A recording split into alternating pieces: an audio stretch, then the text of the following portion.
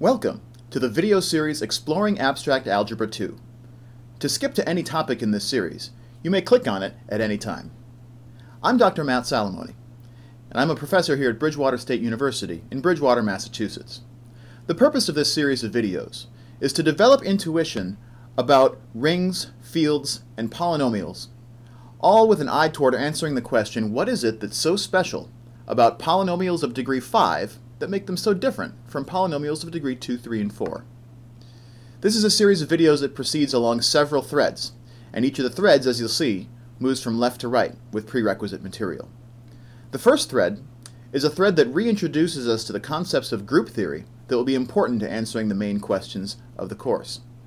First, we look at a review of finite groups, reviewing some of the main results that you'll need from a first semester course in abstract algebra.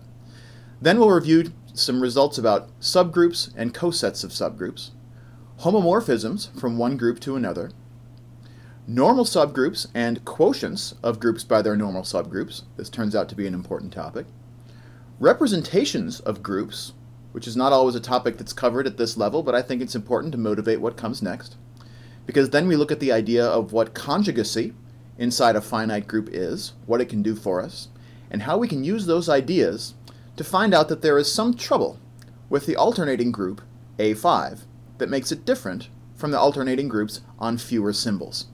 And that concludes the group thread. Then there's a thread that explores some of the basic ideas behind ring theory, field theory, and Galois theory of polynomials. First, we'll look at polynomials in general and get a sense of what Galois' idea was for how field theory has something to do with locating the solutions of polynomial equations. Then we'll talk a little bit about discriminants of polynomials and how they're a little bit more than maybe your high school algebra teacher gave them credit for. We'll talk about rings in general and ideals within rings and the concept of irreducibility.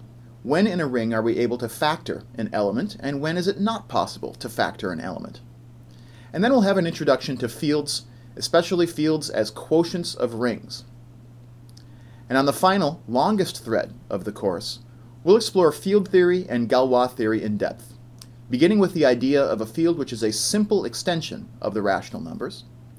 Then we'll look at a classical example of a field called the field of constructible numbers that comes from classical questions in geometry.